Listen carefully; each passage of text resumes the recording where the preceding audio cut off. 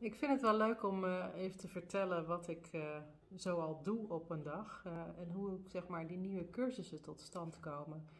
Um, soms zoek ik iemand erbij, heb ik zelf een idee over wat voor een cursus ik belangrijk vind dat er bij de tuinschool komt.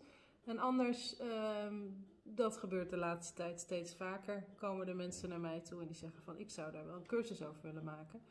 En dan vind ik dat wel leuk om een beetje te, nou ja, te kijken van wat, ja, wat voor een onderwerp kiezen ze. Vaak uh, is het heel breed en uh, zorg ik ervoor of praat ik ze eigenlijk naar een soort uh, kleiner stukje van een onderwerp toe. Omdat een, nou ja, er zijn, is handig voor een online cursus om niet te veel uit te waaieren en te breed, want dan wordt het gewoon veel te groot. Je moet een soort behapbaar stuk pakken.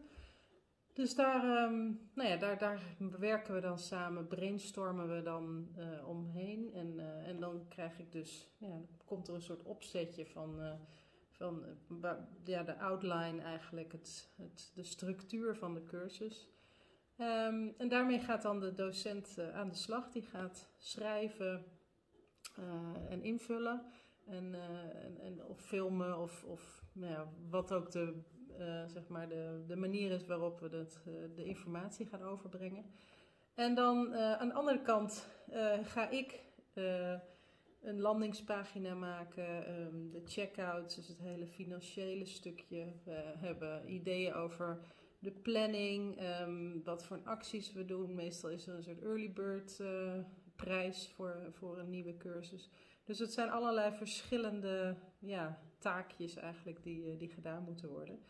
En dan op een gegeven moment komt de tekst uh, terug en dan krijgen, nou ja, kijken we, ja, dan kijk ik er nog een keer naar van of het duidelijk is. Um, vaak is er ook wel een soort testgroepje wat, uh, wat ook meeleest, meelezers die, ja, die kritisch zijn over of alles duidelijk is.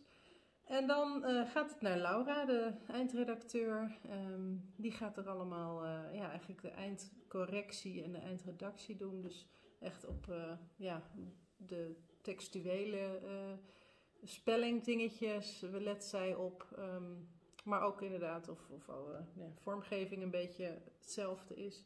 En dan is die klaar.